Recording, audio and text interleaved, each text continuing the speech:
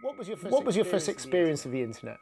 First experience of the internet doing me any good actually didn't come properly, you know, until 1984 with email, and you're talking 1969. So in the meantime, it was that it was just for a small select few. I think I've had the internet since I was a baby because my dad was always into it. We started with a 56k modem, and so that took a long time to connect. A lot of beeps. Uh, I used to be able to hum it back exactly. I don't think I'd do it. I could do it now. Um, try, try.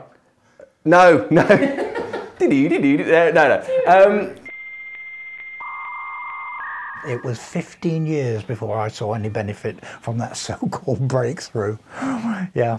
What, what was that benefit? Just It was email. So the first thing I remember was in 1984 when I was a PhD student at the University of Sheffield and we were connected to the JanetNet for the first time and we got access to email. So a group of five or six of us gathered around a terminal and sent an email to Edinburgh to Andrew Blake, who was recently uh, the director of the Turing Institute. Um, and we sent him an email that said, hello, Andrew. we then waited three days for it to arrive, and we had to keep ringing him up to find out when it had got there, but it did get there.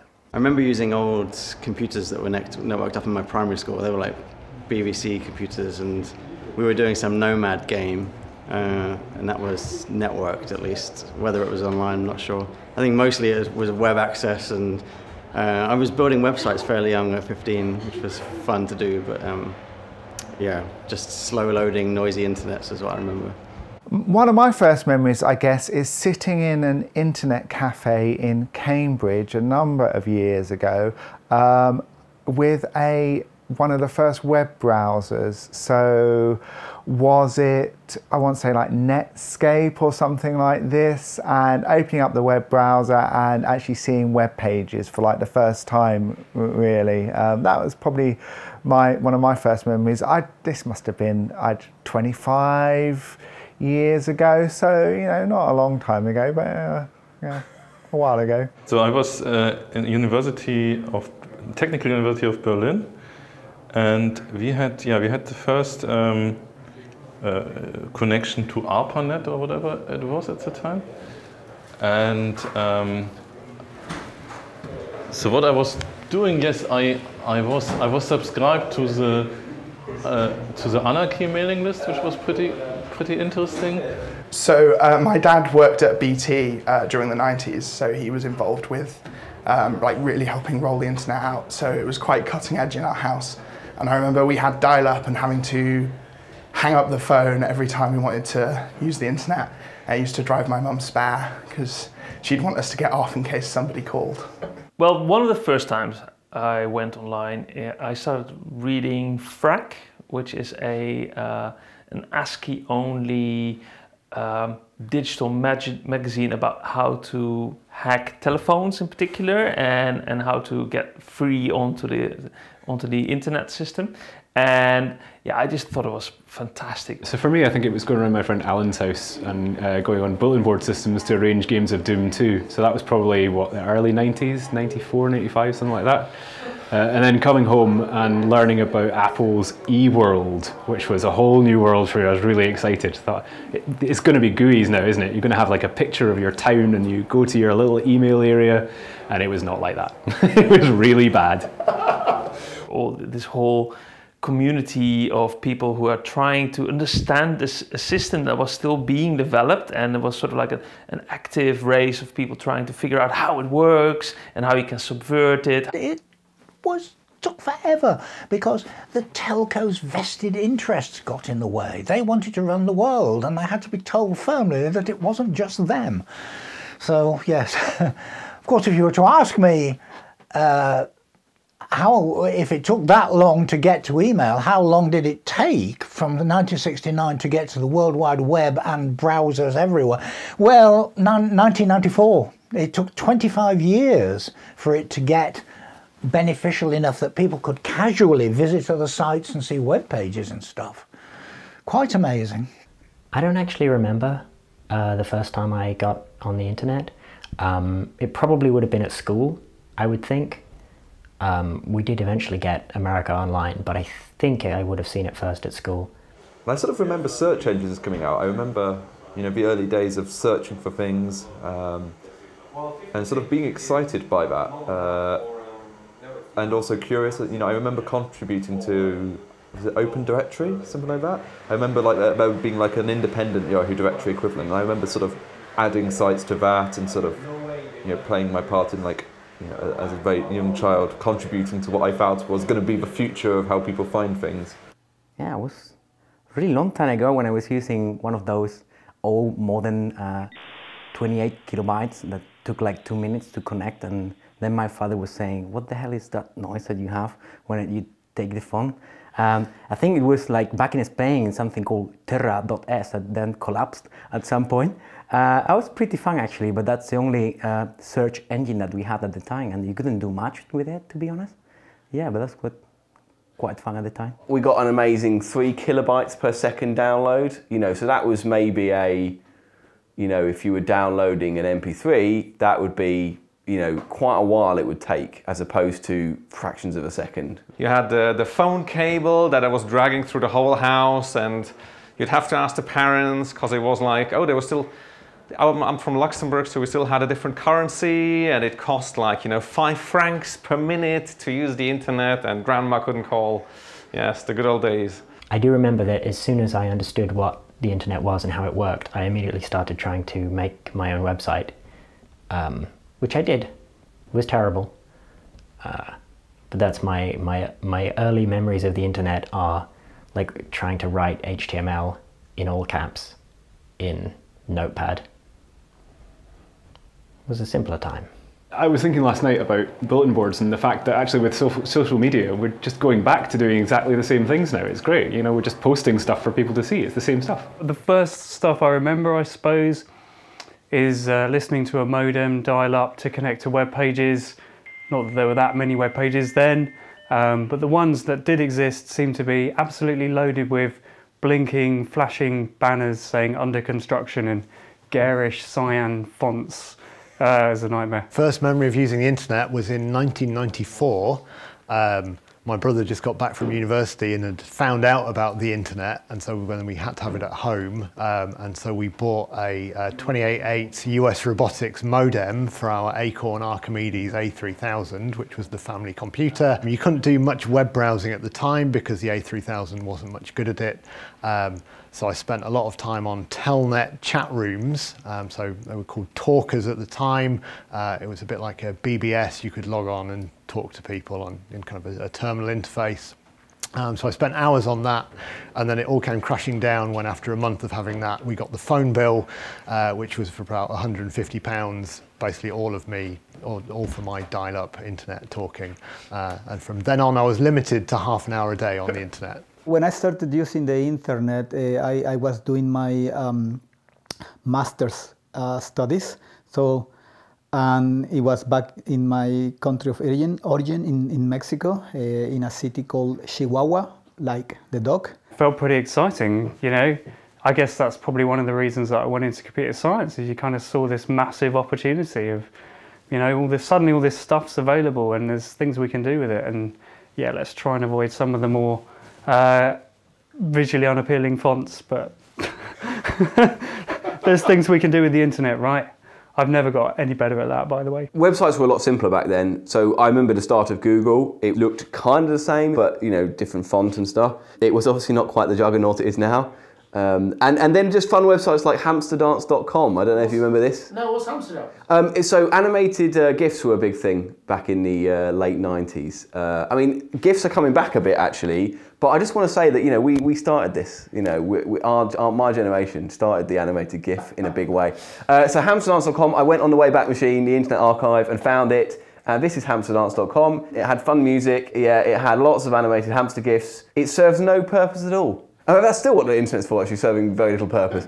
But you know, back then they took it to a, to a different level. Uh, so yeah, hamsterdance.com and other animated GIF related nonsense. Can we put a year on this roughly? Well, this I'm looking here at 2000, but I would say 1999, 2000, some for somewhere around that. We, we you didn't start. I mean, Facebook didn't exist until 2004, so this was before all that websites were, if you look down, websites were mostly text. Hit counters at the bottom of websites were a big deal, right? We, you know, people wanted you to know that a thousand people have been to their website. Just like likes yeah, yeah, exactly. It's just like that. It's just like that. If you look, the oldest Usenet manager, uh, messages about me is that I had a motorbike accident in uh, 1980 something, 81 or something, 82, I don't know. And the first big embarrassment I, I had uh, for a company, I developed a, a parser generator in Common Lisp. And then somebody asked, uh, they were interested in the code, and I was going to send it to him. And then I sent it to the mailing list, and, and uh, uh I wasn't supposed to do this. And then he, he told me, oh, this, uh, the, your code is now ready in Texas and where else. And I said, oh, I just, I just posted the code I, which I've written for this company on the, on the internet. So that was one of my first embarrassments in misusing uh, the internet. Yeah. So I think the first time I really remember going online was probably at primary school. Um, and we used to have some maths lessons in the computer room where we get to play maths games. Very educational online. Um,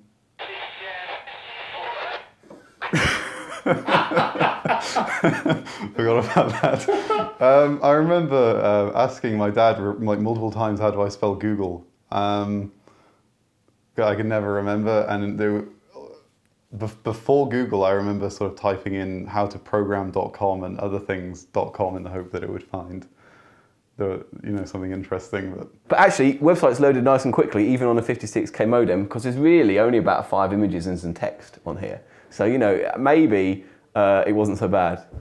I think all my friends at primary school had email addresses by the final year, and we'd be emailing each other after school. I lived in a, in a house with 11 guys, 11 students, and, and for quite a long time. And I built our own server that allowed everybody to you know use the internet through it and, and actually we first used a coaxial cable it was an end-to-end cable uh, but then at some point we moved to ethernet um, but I was amazed how at that time all passwords were just sent on plain text. And uh, because I wrote the server, I could drop all the packets and I could sniff all the passwords. And you know, and people didn't believe me that that that, that was done. And I just showed one of my one of my student friends, like, look, is that your password? He said, damn, uh, yeah, so I got it. Yeah. what sort of era is this? Is we in the uh, 19? So I so I started going online in 1995. Uh, so that was very early. So it was things like Gopher and, and Telnet and, and arcane library methods. There, there, there, was no internet search yet at that time. We had AOL in our house and we were, there was that annoying noise where it was dialing in and it would get like three stages across and that little AOL person would move along. And then, um, yeah, and then every web page would be like, eh, eh, eh, loading, got a bit of a picture. That's yeah, and that seems to be my early memories, I think. When I first started using the internet, we didn't use the web that much. The Atari wasn't up to it, particularly before I got actual TCP IP connectivity. But One of the things we did was we emailed people. And I can remember that I was a big fan of Babylon 5, still am. And at that time, the writer, Joe Michael Straczynski, had his email address public. And I can remember emailing him with questions about things in the show, and he would respond. So that was great. You were sere of emailing the people who were creating things. Well, my first memories of going online, I was in a student house in the early 90s, and a friend of mine bought a 14,400 modem, and he had somehow come up, well, discovered some phone numbers for BBS's bulletin board systems. I think it was bulletin board system. Anyway, BBS is where you could go on to um, a bulletin board and leave posts or read things or download things from them. And this BBS would allow them you to have a certain amount of internet time through their system. So that was my first memory of going online. We sent a few emails, we looked at a few things, and I suppose it went from there. 50 years of the internet this week, Phil. What, what's your memories of the internet? Unfortunately, I'm now nearly 52 and my memory is much depleted and deteriorated compared to what it used to be. I can't really remember, it's, it's ridiculous, I can't remember sending a first email. Um, I certainly, I was at university between 1985 1990 doing undergraduate degree and I, I, certainly remember mucking around with the mainframes, mucking around with the Vaxes and, and playing around, but I can't remember sending an email. What I can vividly remember, however, is going to um, a synchrotron, which is a particle accelerator, we condensed matter physicists physicists aren't so much interested in the particles, we're interested in the light those particles give off. And that was in a place called Daresbury, which is uh, pretty well equidistant between Liverpool and Manchester, right in the middle of Liverpool and Manchester. And I remember going there to do an experiment and sending an excited email back saying, You won't believe it, they've got a, a browser here and you can actually see images on it. It downloads images and puts it without any sort of FTP stuff. And that's my overriding memory, getting so excited of a browser. It was Netscape or Nutscape as they used to call it, um, that uh, brought up the images. And I remember sort of that type of thing. Um, that's my overriding memory. And of course, dial up, but everybody says dial up, I'm sure. So. I had an Amiga computer, right? This is like an Amiga 500 or 1200, I can't remember. And I remember spending hours downloading the uh, Debian 2.0 distribution from the internet. Uh, this is probably, you know, it's probably like 50, 60 megabytes or something like that. Hours and hours downloading it so I could install it because I'd heard about this Linux thing. I was interested in it. And so I, I, so I was downloading these packages and packages and like gradually sort of installing it on my uh, on my Amiga. And that's sort of one of the earliest things I remember. I also remember again sort of going on to download demos. So you know people uh, would write these kind of demos for the Amiga, pushing the hardware to the limit. And you know this is like two or three megabytes. And you know it's like hours of downloading just to kind of watch this demo because you used to have to get that stuff from public domain discs. So you'd send some money through the post and say, I want these discs, and you'd get these discs back in the post. And so being able to do that uh, via the internet was a kind of completely different experience. But, you know, obviously it took a really, really long time. I remember emailing a friend who was in Australia on a gap year and they were on a university system over there, assuming that we'd be doing backwards and forwards emails. So they, this email popped up, and they sent a reply and thought we'd be back on it, but we didn't go on online again for a couple of days. So um, yeah, it was it, it was definitely in its infancy that sort of system for us as consumers at home, even though the internet was obviously whatever it already was 20 years old or whatever it was already. I also remember actually with going back to the Amiga again spending hours trying to configure uh, something called AmiTCP, which is like a TCP stack for the Amiga. Um, and it was really, you know, I, I, had no experience of using these sorts of uh, bits of software, like, you know, networking software. So I was spending hours trying to configure it just to get online. And I completely failed. And I think we ended up buying some kind of, um, some other TCP stack software. First time I saw the internet was when I was at work and they brought in this computer and plugged a modem in and went, this is a great new thing, the internet. We went to the search thing and it brought back hardly any results because there was nothing on there. So we kind of went, come back to us when there's actually things on there. A couple of years after that, I got an email address and started, it was actually a good communication tool and things started appearing on the web and it started actually being practical then. So, but until then, we'd use Janet at university, but it wasn't didn't really have internet connectivity. All you could do was talk to um, students and academics. So my first uh, memory of the internet is this ability to see text, images from you know other places on Earth. I wasn't there, but I could read what other people were saying and thinking. That was fantastic. First, electronic communications through the um, chat uh, programs at the time, uh, if I recall correctly, there was something called IRC chat. To be honest, I don't get it. I can, but yeah. So I do remember the um, chatting programs that will allow you to, you know, talk to people that you haven't met before, and that was strange but very interesting feeling. Really, the first things I can remember, which can't be the first things, but is like um, using IRC uh, using things like the Undernet and uh, using FTP servers, this type of thing. And uh, I remember we did a, very early on, we did an OECD project that looked at um, the use of digital technology and the internet for education. So we started communicating and chatting via IRC chat rooms, etc. We were in the maths building, which is what we are today, and we didn't actually have a connection to the outside world, but psychology did.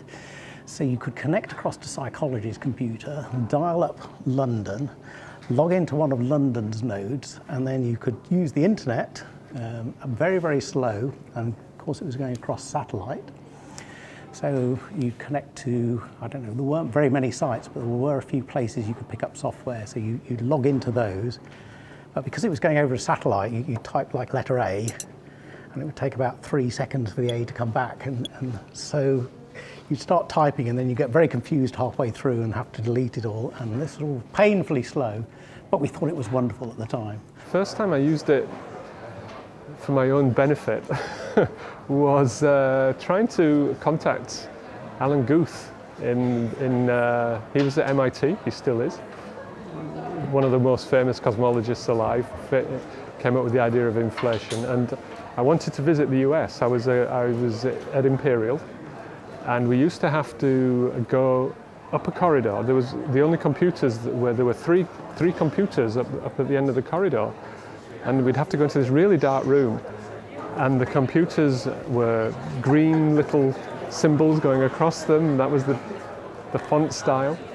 And you'd type in your message and, very, and then send it. And you'd hear it go ping. And each of the destinations, it was, it was as if it was being carried. Each line was pinging, pinging, pinging. And then eventually it pinged Alan alan.guth at MIT. And it said message received. And I thought, oh, wow, it's the first time. And then you have to wait about a day or two days, and then I kept going back and got nothing. And then one day he said, "Yeah, come over, come over." So I went over to the US. I saw Alan Guth, I saw Chandrasekhar, who won the Nobel Prize. So I, I, I arranged a tour. I went to Chicago, I went to MIT, I went to Berkeley, and uh, it was great. The internet. The internet rules our lives. Another lecturer called Hugh Smith.